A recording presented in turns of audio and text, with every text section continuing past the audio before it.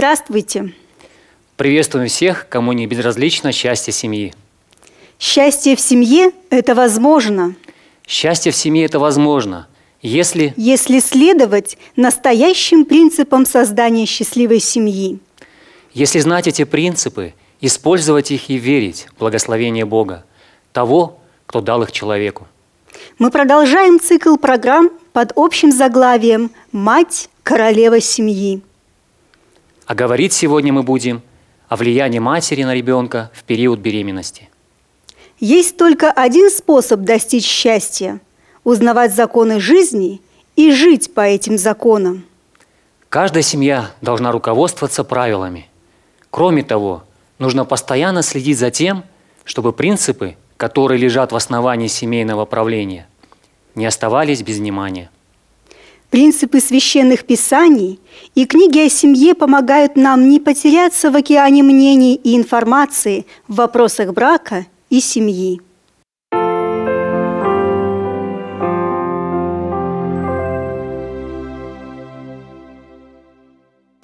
Мы решили организовать ясли сад студии. Холодно. Еще варианты? Ну, подумай. Скажи, что я должен подумать, когда вижу все это? Например, ты можешь подумать о том, что кого-то из сотрудниц скоро можно будет поздравить с приятным ожиданием или интересным положением. Скоро можно? Я что-то тебя не понимаю. Ну а вдруг кто-то подумывает стать мамочкой? Разве это не повод для радости и поздравлений? Ну и ну, вы, женщины, вправду удивительное создание. Зачем говорить о яйце, которое курица еще не снесла? О яйце может быть еще и рано. А вот о курице, э, прости, я хотела сказать о будущей мамочке в самый раз.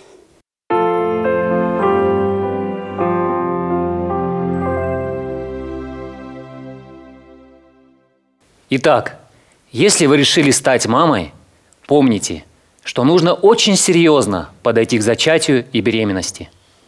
Дело матери священно. Это превыше всякого понимания.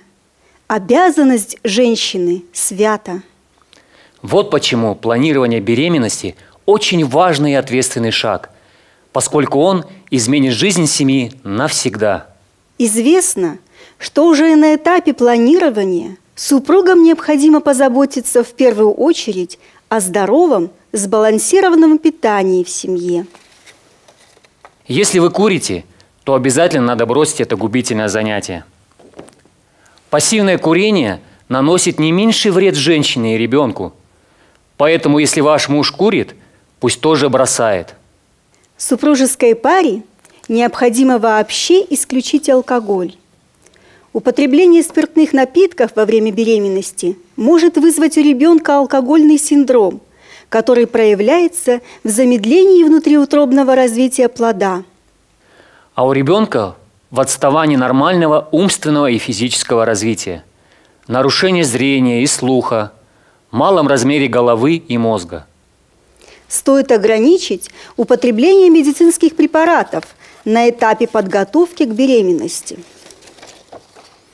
Если у женщины есть какие-нибудь хронические заболевания или склонность к аллергии, обязательно надо проконсультироваться у врача по поводу лечения этих болезней. И, естественно, категорически запрещено употребление наркотиков как женщине, так и мужчине. Перед наступлением беременности обоим партнерам желательно посетить Центр планирования семьи, сдать анализы и пройти курс обследования, чтобы в будущем избежать осложнений. Во многих медицинских учреждениях существуют специальные программы по ведению беременности. Они включают в себя Комплексное медицинское обследование, консультацию и регулярные осмотры терапевта и других специалистов, стоматолога, окулиста, психолога, эндокринолога. Мы решили спросить девушек, о чем нельзя забывать, планируя беременность.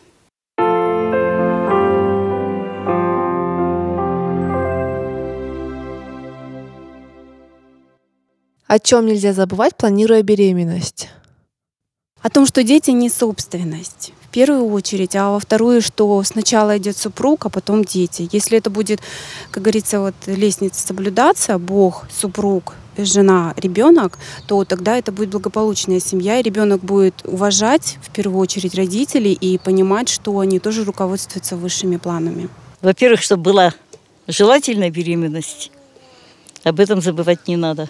Что еще? Следить, следить за собой, чтобы дети здоровенькие выросли, родились. Питаться нормально. У врачей консультироваться. Как? Анализы вовремя сдавать. Ну, пить, курить, наверное, запрещено. Но у меня таких, вот я четверых родила, у меня таких сложностей не было. Я как-то, не знаю, через это вообще не проходила.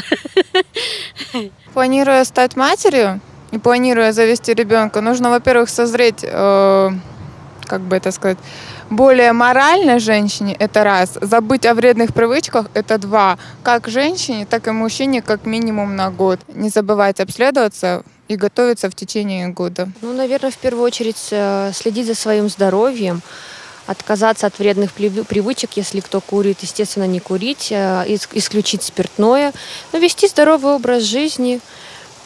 Это в первую очередь. Вообще-то надо витаминчики побольше попить. Всегда надо этот, э, всегда готовиться надо. Нужно думать о будущем перед тем, как планировать ребенка, чтобы его воспитать, чтобы дать ему хорошее образование, материнскую любовь. Самое главное, думаю, нужно дать, дарить любовь детям. Ведь это цветы жизни. Они приносят нам радость и дают как бы цель жить в этом мире, чтобы, чтобы мы жили ради чего-то, ради кого-то в этом мире, а не просто так.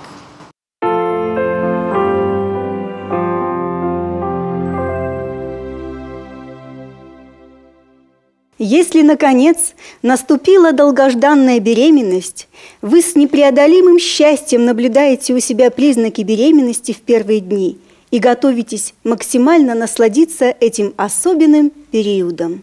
Возможно, вы долго и ответственно готовились к беременности. А может, эта новость застала вас врасплох. Но теперь вам придется узнать о беременности все. Ее развитие, возможные риски – ведение беременности, рекомендации и советы будущим мамочкам, самые важные вопросы по беременности и самые точные на них ответы. Мы тоже решили не отставать и найти в книге о семье, что сказано матери, ожидающей рождения ребенка. И вот оно, первое предупреждение и совет – Женщине нужно запастись большим терпением, чтобы приготовиться к материнству. Нужно помнить, что во время беременности у женщин могут иметь место капризы, проявляться чрезмерная требовательность, постоянные слезы. Маленький человечек развивается и в этот момент доставляет неудобства своей будущей маме, психической сфере – изменяя ее привычный гормональный фон. Будущей маме, будущему отцу и другим членам семьи нужно помнить, что сейчас в силу своего положения женщина не всегда может держать себя в руках. Внезапные нервные срывы ее саму могут удивлять не меньше, чем вас. Общая задача всех – оградить будущую маму от любых негативных проявлений – создать для нее условия максимального психологического комфорта. К этому должна стремиться прежде всего и сама женщина. Вот почему так важно терпение, терпение и еще раз терпение. Все встанет на свои места, но всему свое время. Многие родители считают – что предродовое влияние непродолжительно и потому незначительно. Однако небо по-другому смотрит на это. Благополучие ребенка будет зависеть от привычек матери. Ее склонности и страсти должны управляться принципом. Есть вещи, которые она должна избегать, чему должна противиться, если хочет исполнить Божье намерение – касающиеся рождения ее ребенка. Родители должны помнить, что их детям предстоит встретиться со многими искушениями и трудностями. Еще до рождения ребенка нужно делать то, что поможет ему успешно сражаться со злом.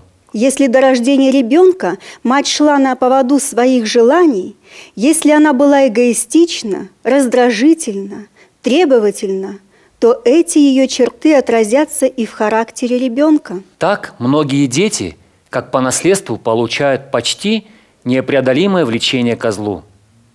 Но если мать неуклонно придерживается верных принципов, если она воздержана и имеет дух жертвенности, если она добра, нежна и бескорыстна, то она может передать своему ребенку эти же драгоценные свойства характера.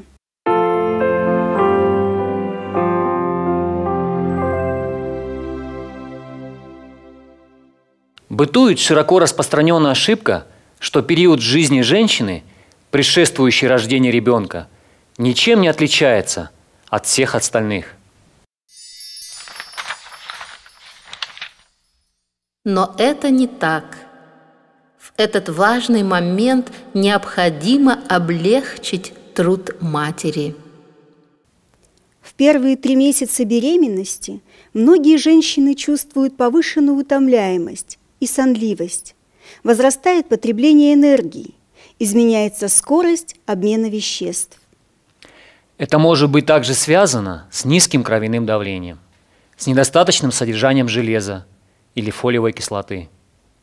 Если бы декретный отпуск предоставлялся не только на последних, но и на первых месяцах беременности, то такой закон мог бы значительно посодействовать здоровью женщин, по крайней мере тех, кто в это время чувствует себя особенно плохо. В любых условиях будущей маме нужно создать безопасное и комфортное для нее пространство. Если она почувствовала усталость на работе, то должна постараться уединиться, принять удобную позу, а при необходимости выйти на свежий воздух. Лучше всего составить список появившихся и предполагаемых проблем и подумать над их решением.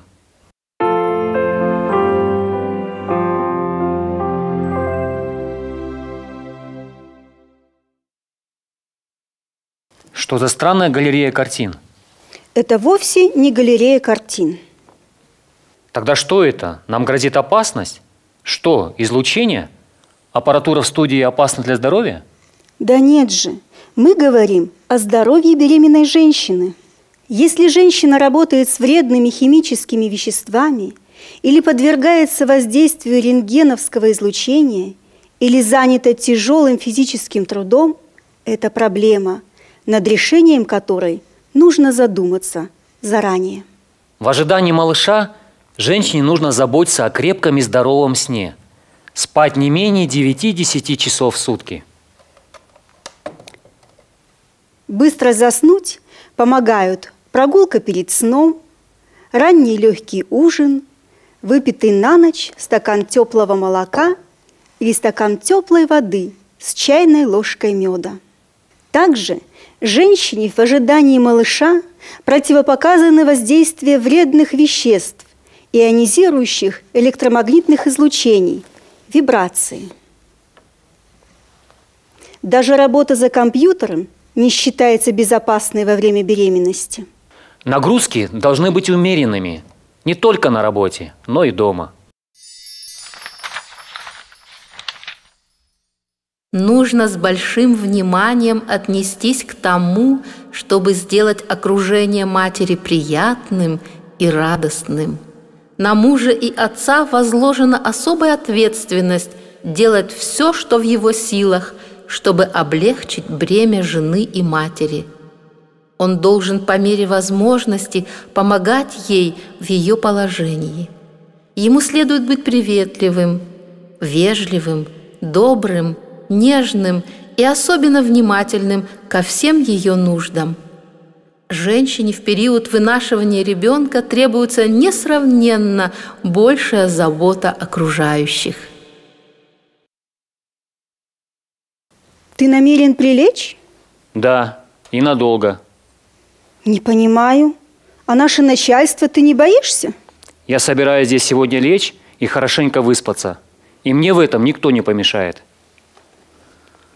Выгнали из дому? Нет, сам ушел. А что так? Наверное, не переживу этих девяти месяцев и моей беременной жены. Все начиналось с того, что я не прыгал от радости и не целовал тест на беременность, когда она мне его показала. Нет, ты не думай, я был очень рад. Но, как оказалось, не очень, на ее взгляд. Но ведь это же уже в прошлом. Теперь вот уже два месяца меня будет по утрам тоскливый звук из туалета. Потом она спит целый день, а на следующее утро все начинается сначала. Если бы ты утром вставал пораньше и приносил ей немного еды, чтобы она могла поесть, не вставая, то, скорее всего, этих неприятных звуков можно было бы избежать. Об этом в умных книжках написано. Нет, погоди, это еще не все. Ей все не так, все раздражает. Не бритый – брейся, а то колешься. Бритый – уйди, пахнешь мылом. А уж взять дезодорант, ей выбранный – ни-ни. И вообще, отправляйся на Северный полюс и не приезжай оттуда без апельсина. Потому что через 40 минут ей уже не нужен апельсин, а надо ей огурчика и непременно маминого посола. А в полтретьего ночи она умирает без сливового компота. Но большинство народов считает, что если не удовлетворять капризов беременной, ребенок будет больной или отсталый. Современная наука это частично подтверждает. Женщине хочется именно того, что необходимо для ребенка или ее собственного организма. Даже страсть к вдыханию автомобильных выхлопов обоснована и означает анемию, которую надо срочно лечить. Что, тяжко? А каково ею по утрам пугать унитаз? Она требует, чтобы я сделал ремонт в квартире. Но у нас, честное слово, еще все в порядке. Я ведь ремонт делал полгода тому назад. Объясни, все женщины такие? Объясняю.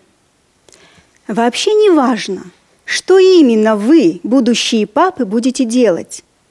Можно подбелить потолки или купить новые шторы, на балконе что-то поменять. Если этого не сделаете вы, это сделает она, потому что в ней бродит жуткий инстинкт, инстинкт гнездования. А лучше купите ей книжку по технике лоскутного шитья. Пусть составляет ребенку одеяло. Это отвлечет ее от покраски окон. Не давайте ей в этот период неконтролируемых денег. Все уйдет на стройматериалы и такие миленькие детские вещички, которые потом окажутся абсолютно ненужными. Она доводит меня вопросами, кого я хочу, мальчика или девочку. Здесь сложнее. Ты можешь думать что угодно, но отвечай не иначе как. Неважно кто, лишь бы здоровенький был. Я уже приготовился к тому, что буду виноват всю беременность. И случилась-то она из-за меня. И все проблемы от генетики. И она беременность, представляешь? Тоже не только моя, между прочим. И смотришь ты на меня не так, как раньше. Потому что я толстая и некрасивая. Я тебе сочувствую. Но у тебя еще будут светлые дни.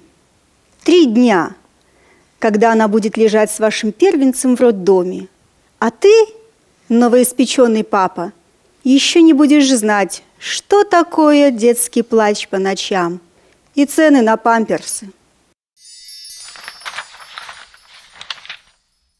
Физические нужды матери ни в коем случае нельзя оставлять без внимания. От нее зависят две жизни – ее желания нужно внимательно учитывать и ее нужды щедро восполнять. Но в это время она, прежде всего, должна избегать того, что может ослабить ее физические и умственные силы. Касается ли это питания или любого другого вопроса, сам Бог возложил на нее весьма серьезную обязанность сохранять самообладание. Хорошо, я сдаюсь, я исправлюсь. Скажи, что еще нужно беременной женщине? Хорошо. Слушай. В организме матери происходят большие перемены.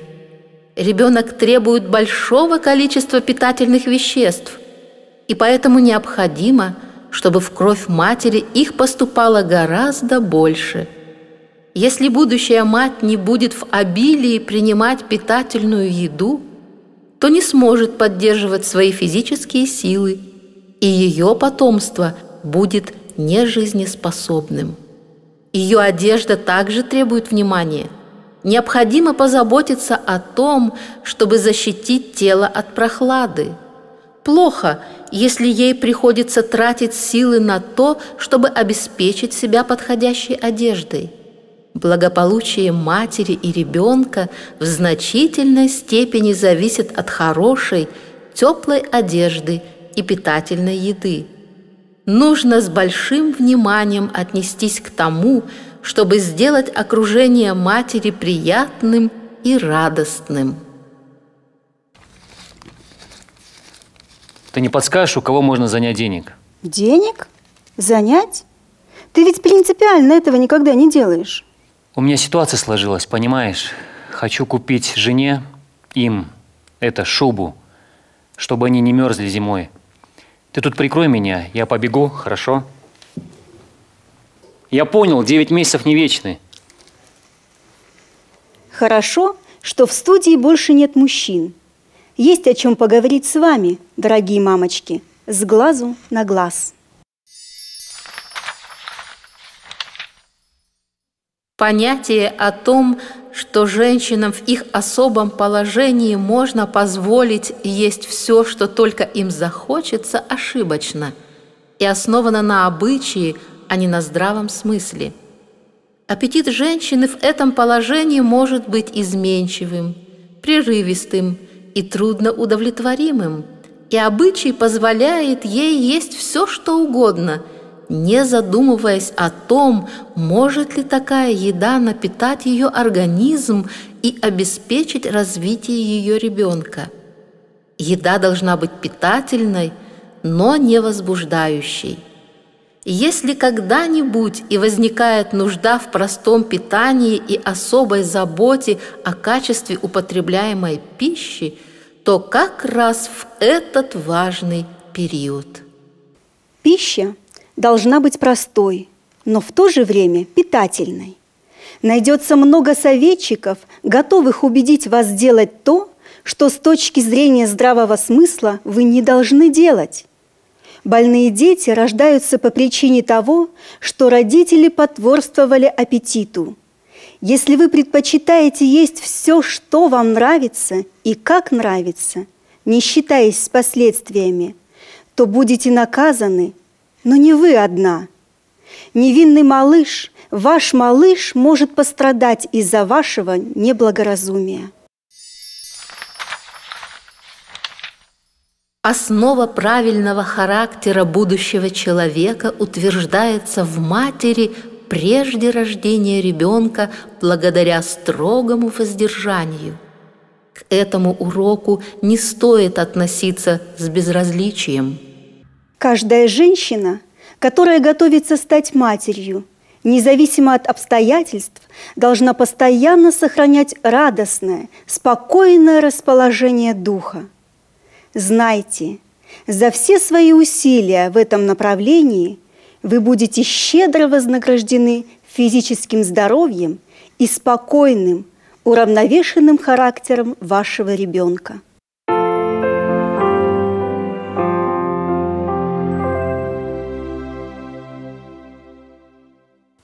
Отцы, выясняйте все, что вас интересует.